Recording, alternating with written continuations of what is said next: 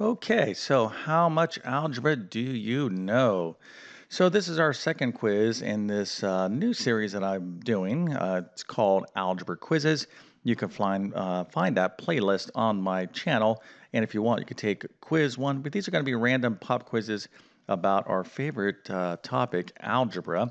So, if you're learning algebra, this is going to be useful. Now, keep in mind that you may not have learned uh, the topic yet on some of these questions. And if that's the case, if you haven't learned it, then don't stress out. Just be like, I don't think I've learned this.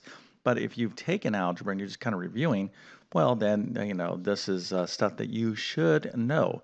Just remember uh, one thing just because you've taken algebra or math does not mean that you've learned or fully mastered algebra. And that's, you know, uh, semi normal. Uh, let me just tell you very quickly when you take pre-algebra, algebra 1, and algebra 2, what you're doing oftentimes here, well, not oftentimes, basically most curriculums, in algebra 1, you're effectively relearning pre-algebra and then you're learning new stuff. In algebra 2, you are relearning uh, a lot of what you learned in algebra 1 and learning new stuff. So, you know, there is this constant cycle of, you know, learning, reviewing, relearning, practicing, you know, building upon that knowledge. So, you know that's the whole idea of these quizzes is just to continue to review topics that you know you've studied or if you haven't studied then you know you'll you'll learn a little bit here as well. So either way this little quiz will be worth your time. And again if you want to take the first quiz, you just go to my uh, algebra quiz playlist on my channel. And I'm just going to continue to do these little quizzes for your benefit, for your practice. So we're going to get to this quiz here in just one second. But first, let me quickly introduce myself. My name is John. I'm the founder of TabletClass Math. I'm also a middle and high school math teacher, and over several years, I've constructed what I like to believe is one of the best online math help programs there is. I'll let you be the judge of that. If you're interested, you can find a link to my Math Help program in the description of this video. But basically, I offer uh, 100 plus different type of math courses. So obviously, courses like algebra, geometry, algebra 2, college algebra, pre-algebra. I'm going to be launching pre-calculus here uh, very soon. But I have a lot of specialty courses, test preparation courses like the SAT, ACT, GED, or teacher certification exams. Um, entrance exams, college placement exams. So if you're studying for a particular type of test that involves mathematics, I likely have a specific math course uh, for that test. So again, my program has taken me years to build and they're very high quality, uh, all video based. So again, if you're interested, you can find a link to it in the description of this video. Now, one thing, if you are a math student, you just need to know the golden rule of the universe of mathematics, and that is those students who take great math notes almost always have uh, great math grades, and the reverse is true. Those students who don't take uh, math notes or take sloppy math notes, or maybe take math notes occasionally, maybe every other Tuesday, they'll take math notes for a few minutes because they're best friends in the class and they take better notes than they do, and they'll just take those notes. But, you know, a lot of people have photogra- photographic memories. I've heard this one, you know, um, plenty of times. Like, I don't need to take notes, I just remember everything I see. Well, when you're learning a lot of mathematics information. There's a lot of information. That's a pretty risky uh, strategy to say, I'm not going to take notes. Listen, I'm just going to tell you, bottom line, you need to take notes. You got to really, really work at this. And I think that's why a lot of students struggle uh, in mathematics is they don't they don't realize they think that note taking is optional. Note taking is not optional. You have to work at it, and it's a skill that you develop over time. Okay, so if you're not there yet with your notes, and if you're sloppy and you're not taking notes, listen, I was that person, okay, way back in the good old days, but I paid a price for it, right? So just telling you as a teacher, you know, this is a golden rule of math. So work on your math notes, get better at it, but in the meantime, you need something to study from. So I offer detailed comprehensive math notes to include pre-algebra, Algebra 1, Geometry, Algebra 2, and Trigonometry. You can find links to those notes in the description of this video. Okay, so we're going to get into some algebra here. Uh, again, uh, if you don't, if you haven't studied the topic, uh, don't panic. Okay, be like, all right, I just haven't learned this.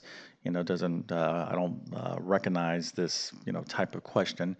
So the one thing I do want to say here is that I'm not going to be teaching about every every one of these particular topics. If you want to learn more about these topics, I have hundreds and hundreds of videos in my uh, various playlists. My algebra playlist obviously would be the place to look for these particular topics. But let's get into the questions. and I'm going to give you a chance to answer them before I actually solve them. So we have three questions. I like to keep uh, little pop quizzes, three questions, totally random topics uh, in algebra. Okay, so here's our first question. I'd like you to simplify this. 4 times the square root of xy times 3 times the square root of x. Fully simplify this.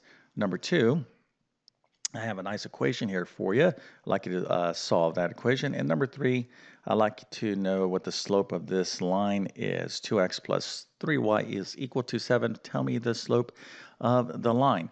Again, I'm not going to teach comprehensively, completely about these particular topics, but I will give you some guidance uh, as I go through the explanations. Now, if you're a superstar in algebra, you should be able to knock this quiz out in like three minutes, no more than five minutes.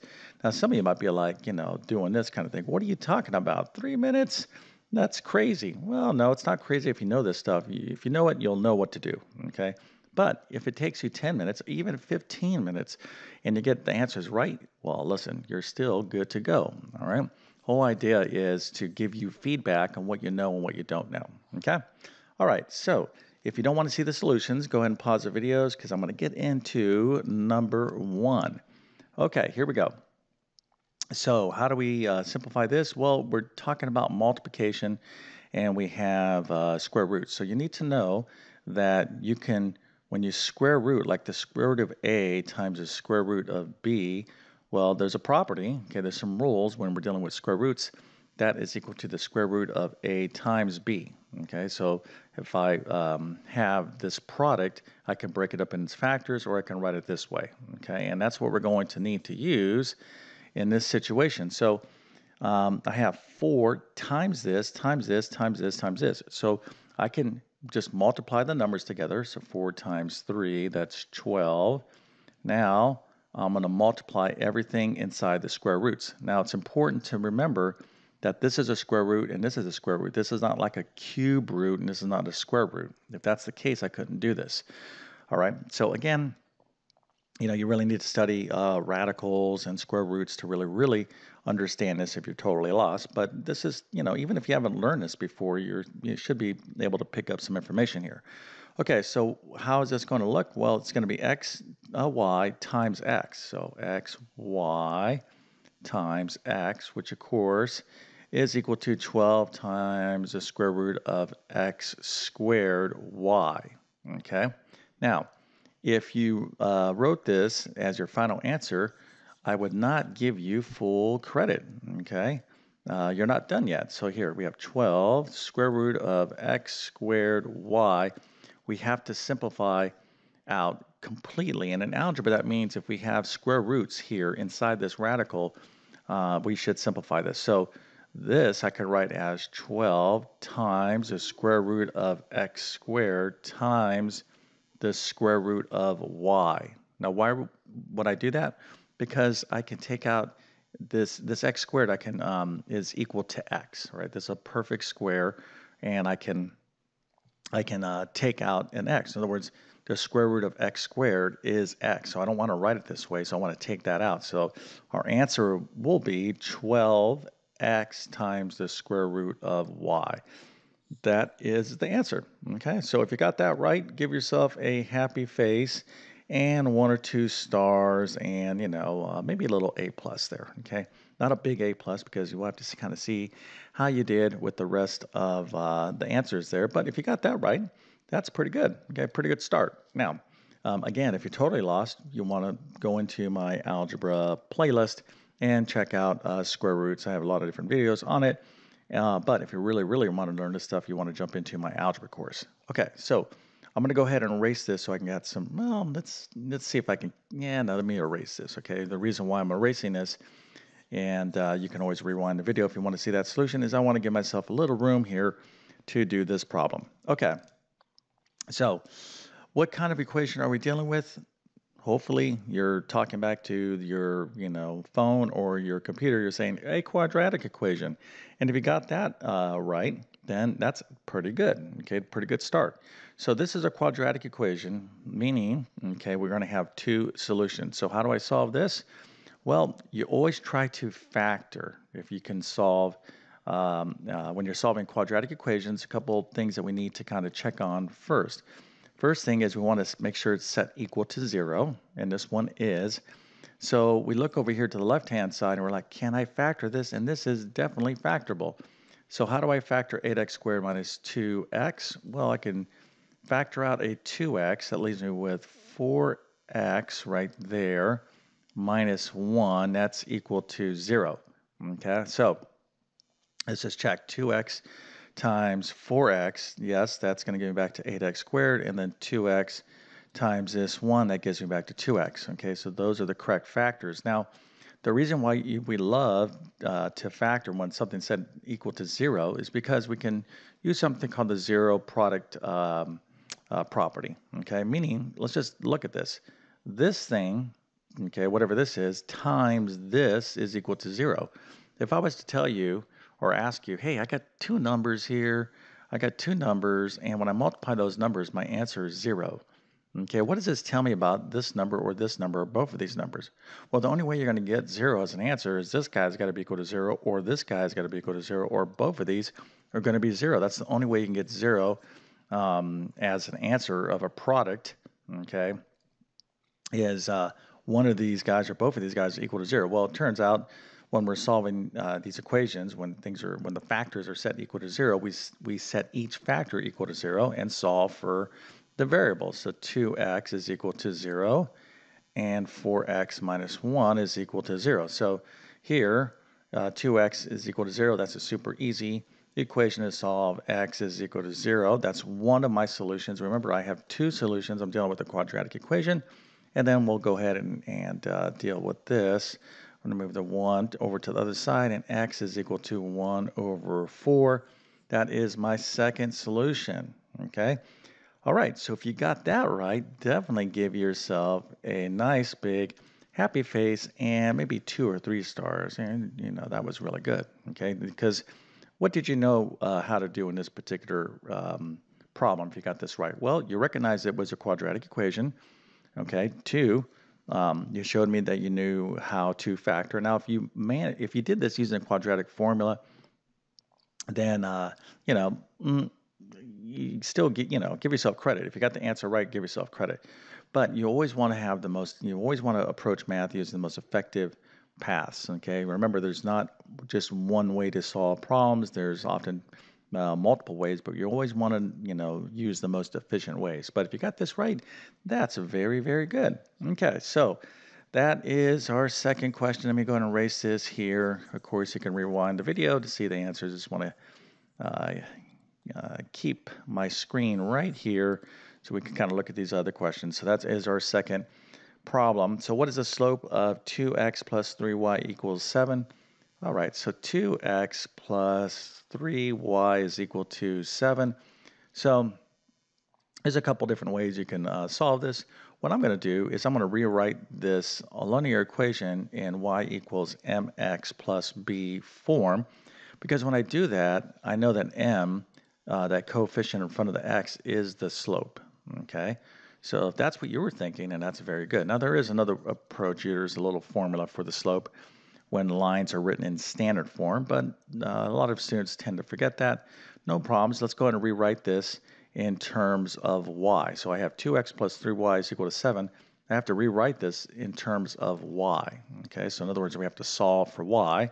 So I'm going to subtract 2x from both sides of the equation. That gives me 3y is equal to negative 2x plus 7.